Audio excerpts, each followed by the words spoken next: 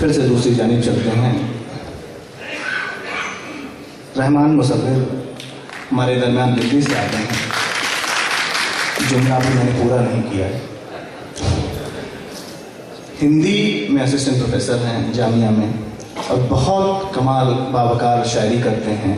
हिंदी में भी कलाम कहते हैं, लिखते हैं। मैं उनसे गुजारिश करूँगा कि वो तशरीफ़ लाएँ। अपने अपना शायरी से नवाजें। जितना मोतबर डायस उतने ही मोतबर सामयीन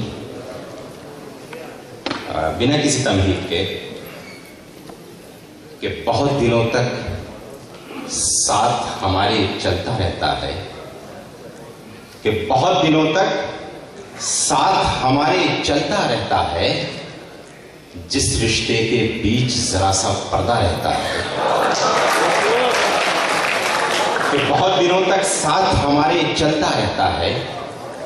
जिस रिश्ते के बीच जरा सा पर्दा रहता है और आँगन वाले नीम को कोई आंधी गिरा ना पाए।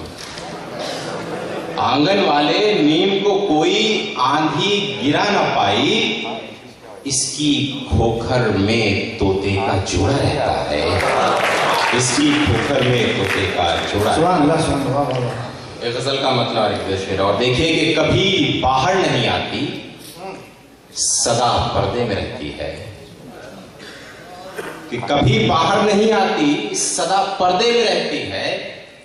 खुदा जाने तमन्ना किसके बहकावे में रहती है। कि कभी बाहर नहीं आती, सदा पर्दे में रहती है। खुदा जाने तमन्ना किसके बहकावे में रहती है। और तुम्हारा साथ तुम्हारा साथ मेरी ज़िंदगी भर का मुनाफा था। गए हो जब से तुम ये ज़िंदगी घाटे में रहती है। कि तुम्हारा साथ मेरी ज़िंदगी भर का मुनाफा था। गए हो जब से तुम ये ज़िंदगी घाटे में रहती है। और शेर देखिए कि जिसे हम लोग मिलकर आश्रम में छोड़ आए थे। कि जिसे हम लोग मिलकर कि जिसे हम लोग मिलकर आश्रम में छोड़ आए थे वो चरखा काटती है चाँद के चेहरे में रहती है। वो चरखा काटती है। कि जिसे हम लोग मिलकर आश्रम में छोड़ आए थे वो चरखा काटती है चाँद के चेहरे में रहती है। और मेरी बहनें यहाँ बैठी हैं खास तौर से उनकी नज़र ये शेर। कि वो चरखा काटती है, चाँद के चेहरे में रहती है, उसे हम पर तो देते हैं, मगर उड़ने नहीं देते।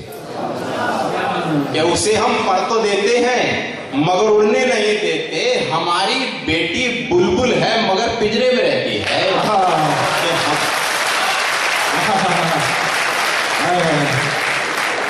उसे हम पर तो देते हैं, उसे हम पर तो देते हैं, मगर उड़ने नहीं देते। हमारी बेटी बुलबुल है, मगर पिंजरे में रहती है। और एक गज़ल का मतलब एक दो शेर और देखिए कि गुफ्तगु में जो मुख्तसर थे हम, कि गुफ्तगु में जो मुख्तसर थे हम, शहर में कितने मोतबर थे हम। कि गुफ्तगु में जो मुख्तसर थे हम शहर में कितने मोतबर थे हम? और हम सजाने के काम में आए। कि हम सजाने के काम में आए यानी बेमौसमी समर थे हम। क्या कहने हैं? वाह वाह वाह हम सजाने के काम में आए यानी बेमौसमी समर थे हम। और शेर देखिए कि हम हमेशा इधर रहे लेकिन कि हम हमेशा इधर इधर रहे लेकिन किशोर आप कि हम हमेशा इधर रहे लेकिन लोग कहते रहे उधर थे हम। कि लोग कहते रहे उधर थे हम। हम हमेशा इधर रहे लेकिन लोग कहते रहे उधर थे हम। और हजरात जितनी जितना उर्दू से मैं प्रेम करता हूँ उतने ही हिंदी से मोहब्बत। तो एक हिंदी का गीत। ठीक है। जी जी। ऐसे भाई। जी। कि मैं धूप नहीं, मैं छाव नहीं, एहसास तेरे अंतर मन का। मैं धूप नहीं, मैं छाव नहीं, एहसास तेरे अंतर मन का। मैं कदम कदम का साथी हूँ, मैं छलिया नहीं के छल जाऊँ, मैं छलिया नहीं के छल जाऊँ। मैं घोर समर्थक चेतन का जड़ता का किया विरोध सदा।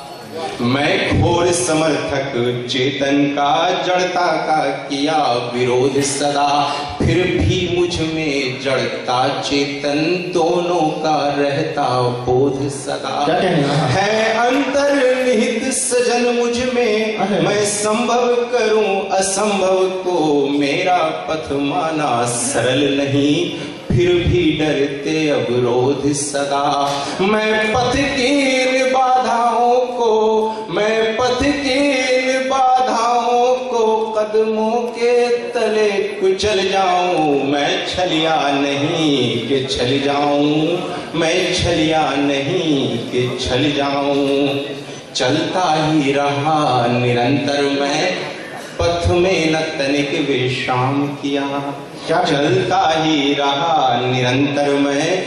पथ में न तनिक विश्राम किया।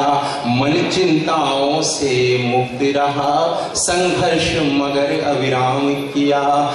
मेरे साहस के मधुर गीत कल कल गाती है सरिताएँ। मेरे ध्रुव निश्चय को देखा, पर्वत ने विनत प्रणाम किया। लेकिन मीठी मुस्कानों पर, लेकिन मीठी मुस्कानों पर हिमखंड समान पिघल जाऊँ मैं छलिया नहीं कि छल जाऊँ। और ये बंद विशेष रूप से देखिए कि है परम शून्य आकाश इसे कब किसने छू कर देखा है? क्या कहने हाँ? है। परम शून्य आकाश इसे कब किसने छू कर देखा है? धरती अंबर मिल रहे जहाँ वो क्षितिज दृष्टि रेखा है। ये कुछ भी नहीं, मगर फिर भी इन सबको है आकार मिला। ये मेरी पूजा का फल है, मेरे सपनों का लेखा है। मेरे कारण दीपक जलता, मेरे कारण दीपक जलता। मैं दीप शिखा पर जल जाऊँ, मैं छलिया नहीं कि छल जाऊँ, मैं छलिया नहीं। अंतिम मन ये छलिया कौन है। मैं छलिया नहीं कि छल जाऊँ।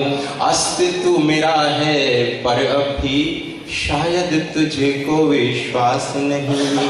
अस्तित्व मेरा है, पर अब भी शायद तुझको विश्वास नहीं। मैं तेरे अंतर मन में हूँ, लेकिन तुझको आभास नहीं। मैं शब्द की परिभाषा, सारा जग मुझको प्रेम कहे, सीने पर रख कर हाथ कहो, क्या ये मेरा आवास नहीं?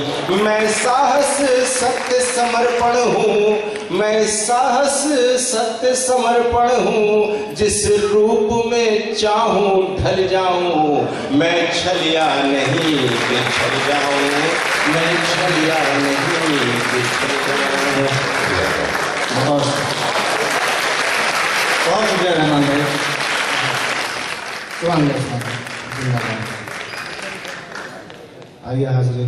ये शानदार पोइट्री फेस्टिवल ऑर्गेनाइज किया जश्न अदब ने। जश्न अदब का ये सेकेंड इंटरनेशनल पोइट्री फेस्टिवल था। जश्न अदब पोइट्री और लिटरेचर को प्रमोट करने में अपना अहम रोल अदा कर रही है। हम शुक्रिया अदा करते हैं जनाब इजाज पापुलर मेरठी साहब का, जो हिंदुस्तान के मशहूर और मारूफ शायर हैं, जिनकी तंज मिज़ा में अलग पहचान है।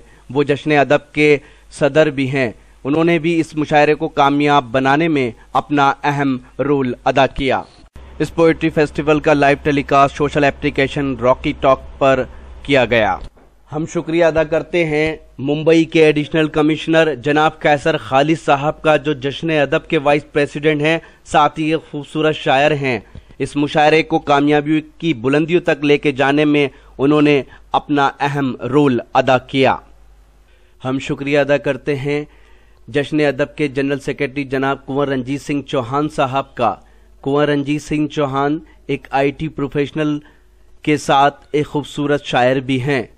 कुंवर रंजीत सिंह चौहान ने अपनी निजामत से इस पोइट्री फेस्टिवल में चार चाँद लगाए। साथ ही इस पोइट्री फेस्टिवल में शिरकत करने वाले हिंदुस्तान और हिंदुस्तान के बाहर के शायरों को एक मंच पर लाने में अपना अहम रोल अदा किया।